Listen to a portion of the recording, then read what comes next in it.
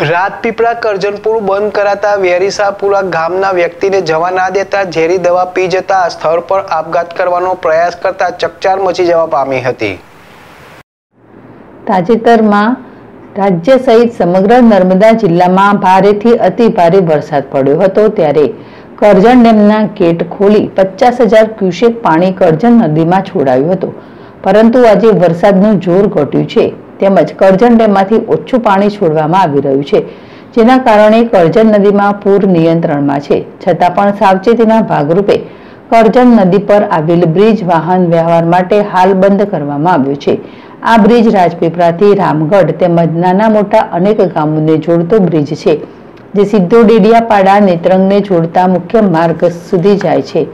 રામગઢ સહિત અન્ય નાના મોટા ગામો માટે આ બ્રિજ ખૂબ મહત્વનો છે, પરંતુ સાસવારે આ બ્રિજ બંધ કરવામાં આવે છે, જેના કારણે શાળાએ ભણતા બાળકો, શિક્ષકો, મજૂરી કામર્થે રાજપીપળા આવતા લોકો વીસ કિલોમીટરનો ફેરો વધતા હાલાકી ભોગવી રહ્યા છે.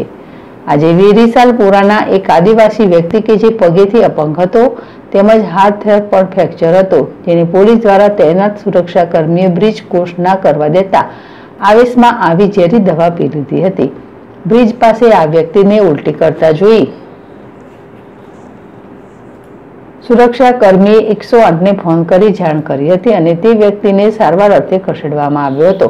ઉપરાંત રામગઢ ગામે શાળામાં બાળકોને અભ્યાસ અર્થે જતા ભૂમિકાબેન તેમજ રામગઢ ગામે બાળકો માટે ભોજન બનાવતા મધ્યાહન ભોજનના સંચાલક વિનુભાઈ સાથે જ રામગઢ પંચાયતના સભ્ય વિનોદભાઈએ તંત્ર સામે પોતાનો રોષ ઠાલવ્યો હતો અને વહેલી તકે પુલ ચાલુ કરવામાં આવે તેવી માંગ કરી હતી.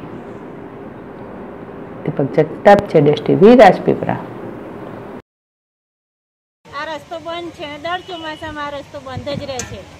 એટલે બધા શિક્ષકોને બાળકોને સ્કૂલમાં આવું જવું હોય તો બહુ જ તકલીફ પડે છે. આમ ફરીને જવું પડે છે એમાં ટાઈમ વધારે લાગે છે. સ્કૂલમાં ટીચર છે. આ જે પુલનું રિનોવેશન છે એનું કામ તાત્કાલિક થાય અને